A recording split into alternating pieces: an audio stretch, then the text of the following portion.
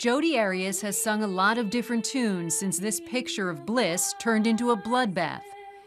Oh, night divine, oh, night. It's a grisly tale of passion gone wrong, of sex, lies, I'm not guilty. and a life brutally cut short. This is a case, this is a story, this is a criminal defendant unlike any other we've ever met before.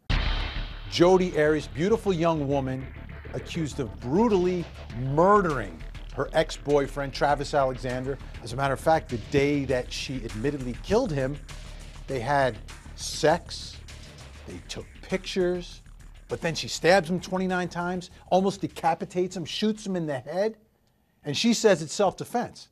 But the prosecutor has a whole different theory here that it was premeditated, cold blooded murder because she was obsessed with Travis Alexander.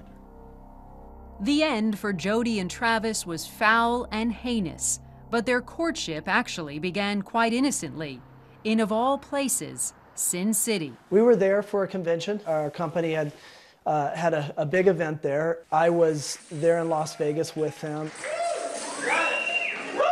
Travis Alexander was a motivational speaker and close friend and co-worker of David Hughes in the fall of 2006.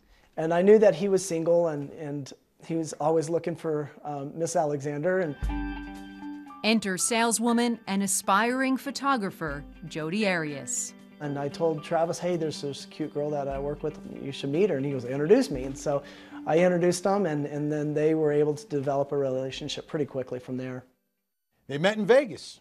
The night they met, it seemed that they, things heated up very quickly because Jodi Arias has said within a week or so, they're having sex in the car. Jodi and Travis had an instant physical connection, a whirlwind romance, but a long distance one with her in Palm Desert, California, and him five hours away in Mesa, Arizona. Still, that wouldn't slow them down. Shanna Hogan is the author of Picture Perfect about the Jodi Arias case. From the very beginning, Travis and Jodi were almost in constant communication. They talked every day. They exchanged thousands of emails and text messages.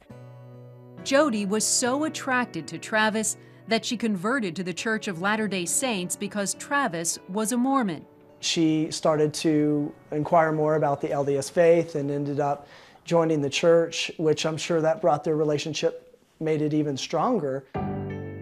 To outsiders, Travis and Jodi appeared devout, a pure Mormon couple.